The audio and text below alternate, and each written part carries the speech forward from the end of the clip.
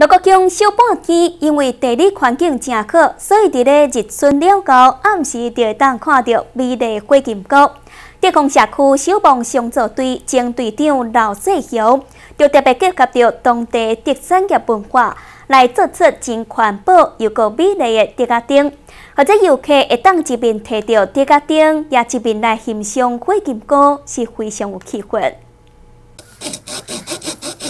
摕着机啊，将一扎一扎的竹仔挖出一个坑，要来开始制作环保又高美的竹仔高压灯。为着要让游客伫暗时欣赏飞机高的时阵，会当莫破坏生态。伫六个小半天，就业者特别使用六个在地竹仔来设计制作传统的竹仔高压灯，让游客伫暗时会当摕着家己亲手制作竹仔高压灯来欣赏飞机高。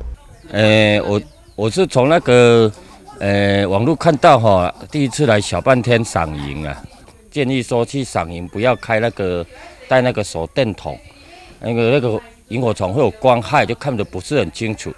然后就教我做这个，哎，做这个这个叫做什么？用竹子里面点蜡烛，觉得蛮有创意的，也蛮蛮漂亮的。提着这个这个这个这个蜡烛灯哈，觉得蛮诗情画意的哈。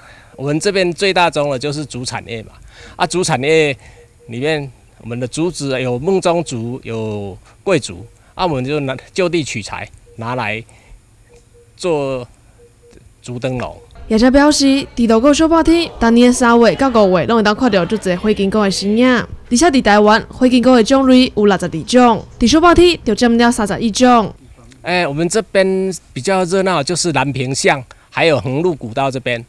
横路古道这边几乎它的生态是都没有破坏。